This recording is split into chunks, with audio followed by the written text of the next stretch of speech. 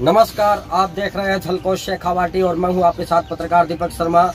ताज़ा तरीन खबरों के लिए चैनल को सब्सक्राइब करें। देखिए आज की ताज़ा खबरों के साथ। धन्यवाद।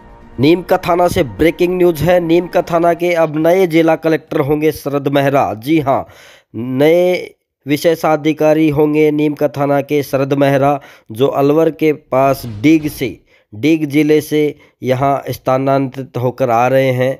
उनकी जगह पर पहले नीम का थाना में श्रुति भारद्वाज थी, जो श्रुति भारद्वाज का ट्रांसफ़र नीम का थाना से डीग के लिए किया गया है और डीग जिला कलेक्टर जो अगस्त महीने से वहाँ पे थे, अपनी व्यवस्था संभाल रहे थे, वहाँ कानून व्यवस्था को, जो शरद मेहरा अब नीम का थाना आएँगे और नीम का थाना की कानून व्यवस्था को शरद मेहरा संभालेंगे। इसके साथ साथ श्रुति भारद्वाज भी नीम का थाना जिला कलेक्टर रह चुकी है और यहाँ से स्थानांतरित होकर उन्हें डीग भेजा गया है। अब डीग में वो कानूनी व्यवस्था वहाँ पर संभालेंगी।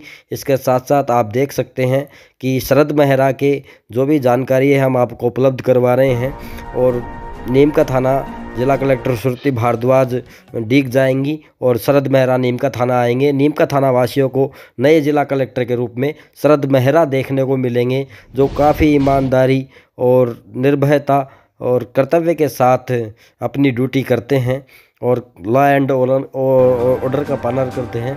इसके साथ साथ आप देख तक देख सकते हैं कि डीग की जनता ने भी शरद मेहरा को काफ़ी प्यार दुलार दिया है और नीम का थाना आने के बाद कितनी फरियादें सुनेंगे, कितनी लोगों की सहायता होगी, क्या होगा, ये आने वाला वक्त बताएगा। शेयर करें खबर को।